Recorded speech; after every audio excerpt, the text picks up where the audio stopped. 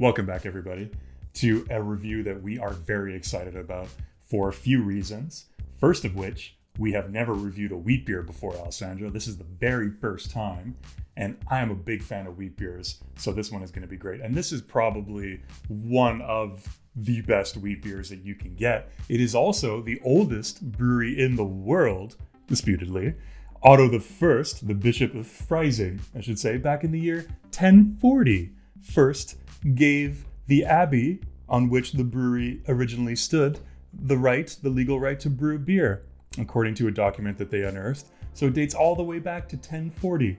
Good old Otto the First, giving them that wonderful ability to brew this delicious beer that we know today. What do you know about this beer? Is there anything that I should know or our audience should know going into it before we start the review?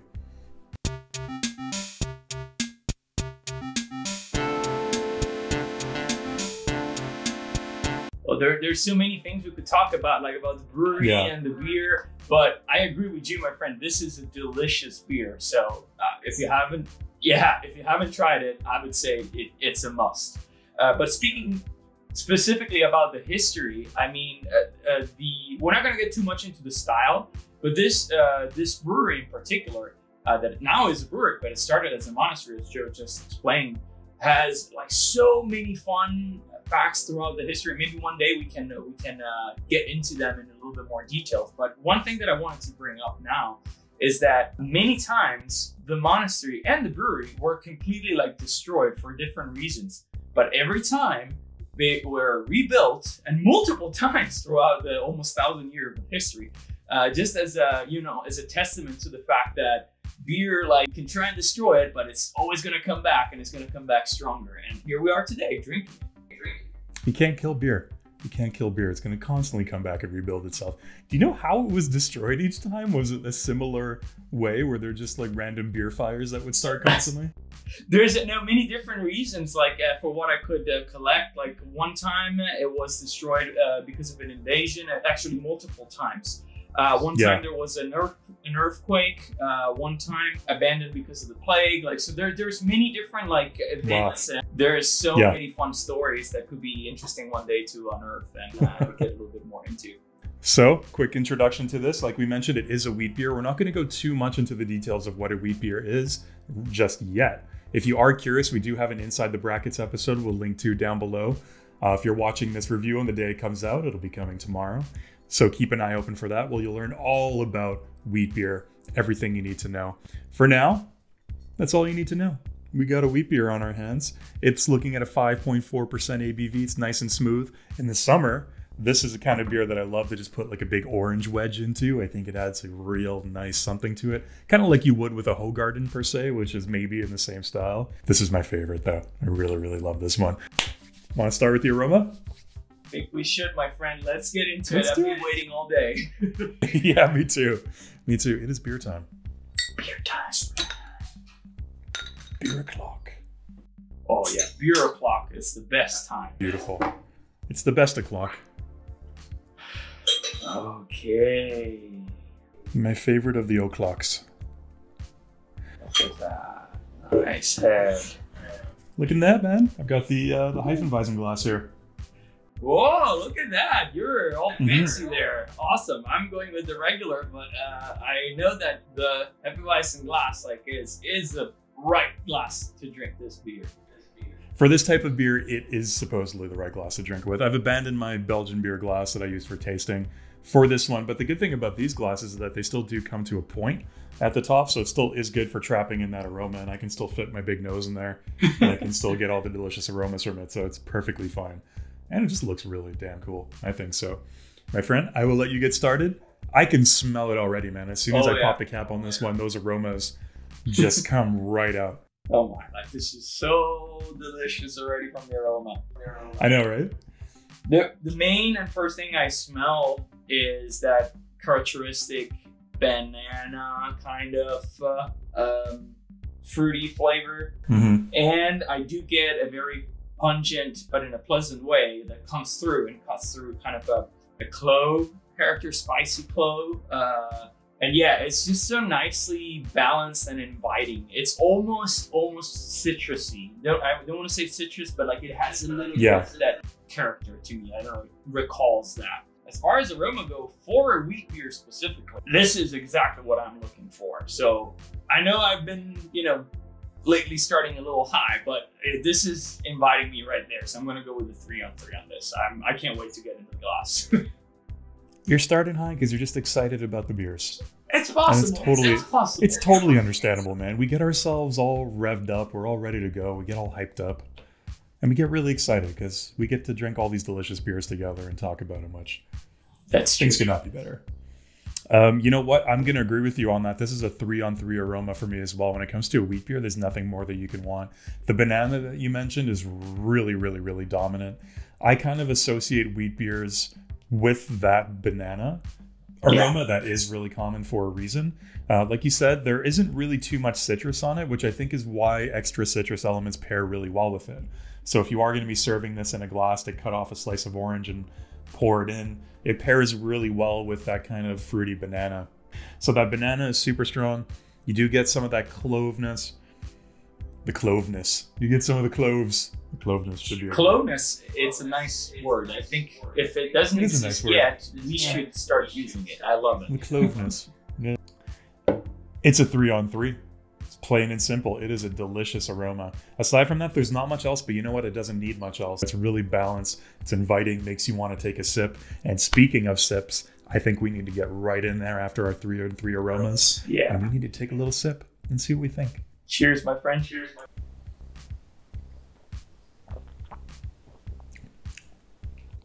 Oh, yeah.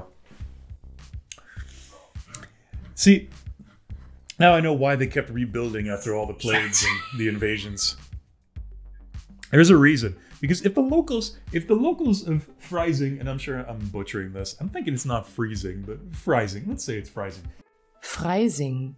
If the locals of Freising, Germany, were deprived of this delicious wheat beer for any extended period of time, I would riot. If I was living in those days, I would light a pitchfork on fire, I would storm the abbey, and I would demand they get right back to work brewing this beer, which I'm sure is what happened. Like, I wouldn't be surprised if the people of the town themselves were carrying stones to rebuild the abbey.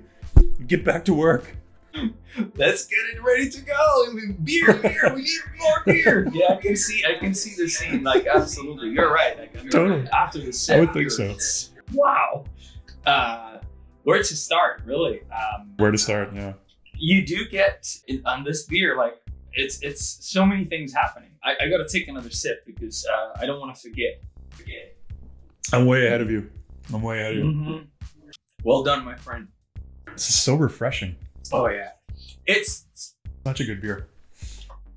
it's all over the place, but in a, in a very nice way. So you get initial acidity that resembles again that uh, citrus note that it's not exactly there, but you, you can almost know, like right? convince yourself that it's there. Yeah, Ah. it mimics the citrus flavor so well. And then it has like this uh, sweetness uh, that is just at the beginning, transitions into uh, a very pleasant coating palate feeling that I don't want to talk too much about because it's more mouthfeel. But then you have that hop aroma that is very gentle and and just there to balance out the other elements so it doesn't get like too overly sweet. Uh, but it's it's so good and, and balanced in all those elements uh, that it makes you feel like it just you take a sip and it's immediately gone uh, but it leaves Yeah. you for craving for more for a second sip. So I mean, when this happens for me, it's again like sign of greatness. So three on three here for me as well on the taste. So the banana is the first thing I get. I do taste a little bit of that bitterness. You taste the hops, which I love. I think this is such a delicious balance of that fruity element and the hops. You know, when we say you almost taste the citrus, but you don't, I think that's one of the reasons why I love this so much. This plays with that. It hints at citrus, but it doesn't give you citrus, which is why I think I really like it. There's a little bit of a trick there. The hops, the bitterness from the hops combined with the cloves and the banana, it almost mimics this kind of fruity mixture of banana and citrus, but it's not quite there, so it's not too much. It's not overpowering. The taste is really nice and smooth and balanced. And wow, it is delicious. You know what? As far as wheat beers go, um, I, I don't I've had a lot of wheat beers in my life, and I've had a lot of really good wheat beers that do slightly different things, but this is perfectly done. This is a three on three taste for me, I have to say. Yeah, and now we get into the interesting mouthfeel. And the mouthfeel does require that we freshen up our drink a little bit just to to freshen up the carbonation, levels in the beer. All right, my friend, let me know what you think. Cheers again. Mouthfeel cheers. So the first thing that I think uh, is this incredible silkiness and Mhm. creaminess that this beer has. Like it's it's creamy, it's light. The carbonation really elevates all the flavor, leaves this nice layer on your tongue, like on your palate, that is very delicate, and uh, it kind of like slides away like silk. It's absolutely delicious the way that uh, those flavors are in harmony and balance with uh, the aroma and the taste. Like you really get all of the elements, and they just play perfectly together. When you hear, it's like They hearing do. like a, you know great orchestra that is playing like a Yeah. music that works, and then all the instruments are chiming in at the right time. And as you said, like as far as wheat beers go, and again, I've had like a few wheat beers too in my life. This one here Yeah. managed to do it in an incredible way. So mouthfeel still, I'm gonna stick with a three on three. Once you've reviewed the mouthfeel, we're officially halfway through our review. And we're still at perfect beer territory, It's, which it's- is yeah. it's getting there. It's getting there. I have to agree with you, my friend, in the sense that it is it has that creaminess, which is very, very, very pleasant, very inviting. It just washes over your mouth and your tongue in, in such a pleasant way. Um, there's the perfect amount of carbonation. You know, if you're if you're thinking, let's say on a one on ten scale of carbonation, I would put this at maybe like an eight, an eight point five. It's very carbonated, but in a great way, and I love that. I love that it has that combination of creaminess and carbonation. As a mouthfeel, it's just perfect for me, and I find it doesn't get flat. It kind of it keeps its carbonation and it holds that really well as you're drinking it. That's always been my experience with it as well. The gas doesn't escape too quickly. It's perfect. It's a three on three mouthfeel for me as well. It's got that perfect combination of creaminess and carbonation that I just love. And it's hoppy enough that you get that little bitterness tingling on your tongue too, which is a nice little addition. And all those three things together are the perfect mouthfeel package. Perfect beer? Perfect beer rating is still going. I'm getting excited. I wonder if this is going to make it all the way through. But it's come to the finish. The finish has traditionally been a bit of a tough one. So, what do you think? So I'm gonna refreshen beer here, freshen it up a little bit.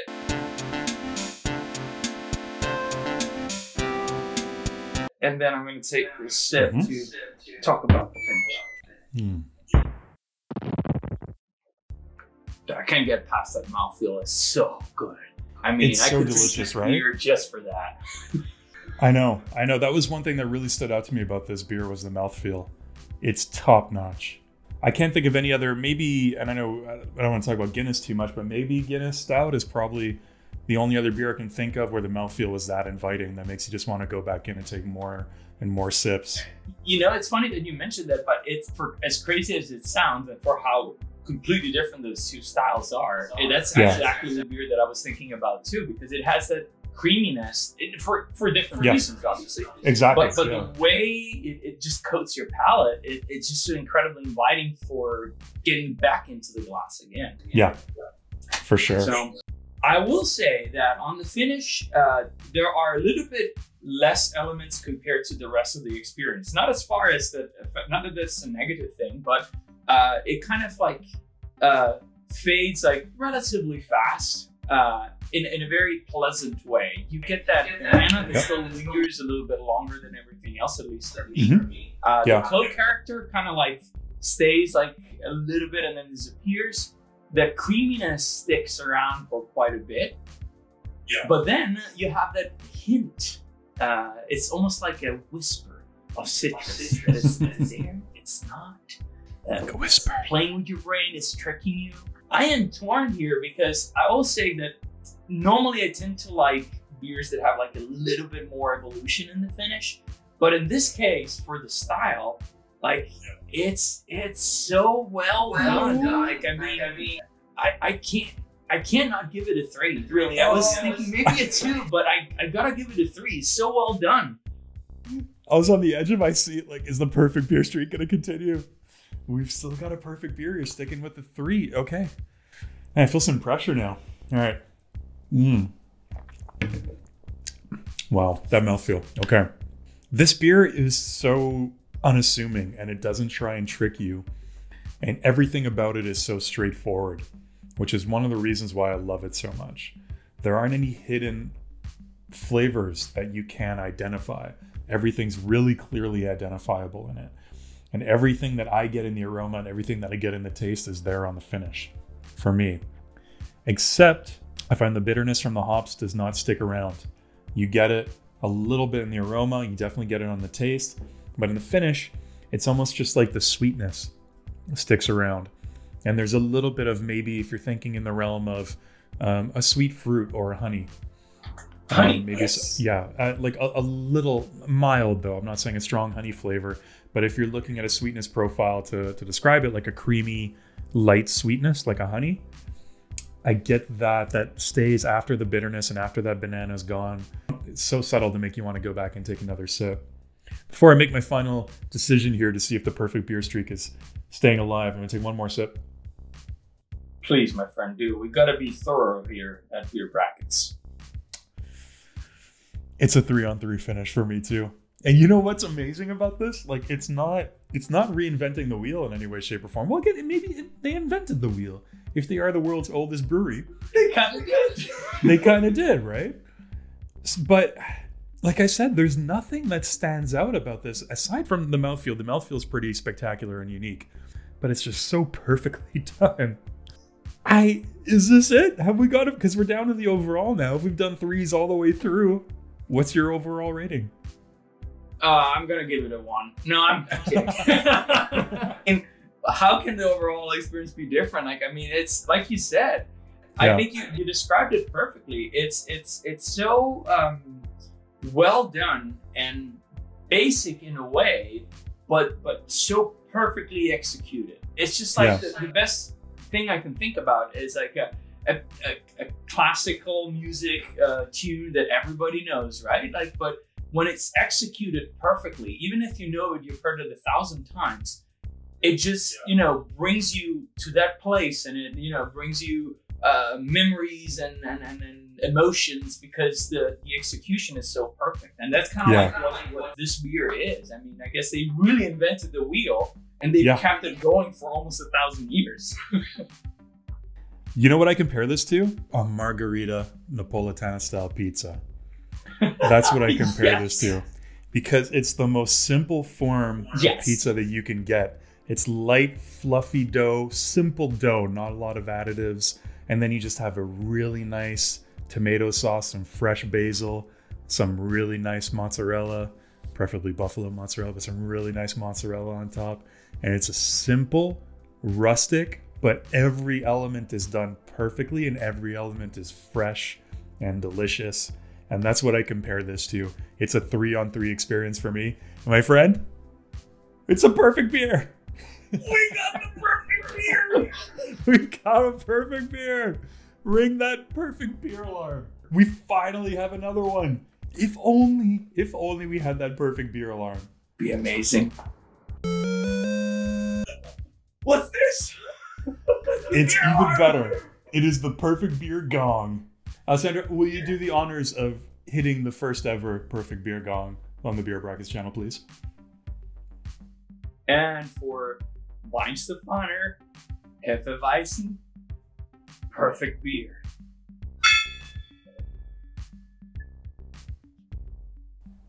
Just let that echo. Let that echo a little bit. Vibration goes into the world. Guys, this has been pretty epic. Not only do we have another delicious beer to add to our perfect beer hall of fame, I had a great time hanging out with you, Alessandro, reviewing this one. I've been wanting to have this one again for a little while. Again, guys, keep an eye open for our Inside the Brackets episode on what is a wheat beer. That'll be dropping really, really soon, right after this review, so you can learn all about what a wheat beer is and about that style. We'll go deep on that one. Thank you so much for joining us. Hopefully, you guys were able to find a a wine, a wine Stefaner, or wine Stiffen. It's uh, a Weinstiffen. Weinstefan. A Weinstefan. Weihenstephan. Hard to say, but so easy to drink. Hopefully, you're able to find one yourself and crack it open and drink it along with us during the review. What did you think about it? Do you think it deserved the perfect beer gong, the first ever perfect beer gong? Do you agree with our rating on this? Do you think it should have scored a little lower, scored a little higher, if possible? Let us know down below, guys. Cheers, and don't forget to close your beer brackets. Never forget.